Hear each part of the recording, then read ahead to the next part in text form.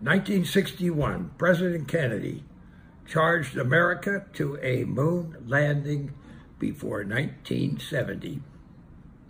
The early lander's production schedule would have led to a landing by mid-October 1969 by Apollo 12.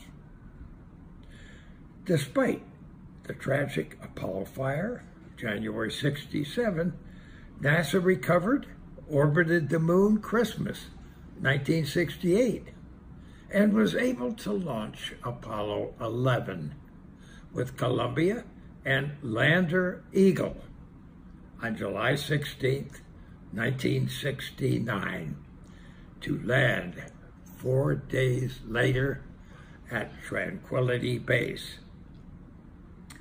By my greatest good fortune, I was able to join Neil and Mike on the Saturn V that day.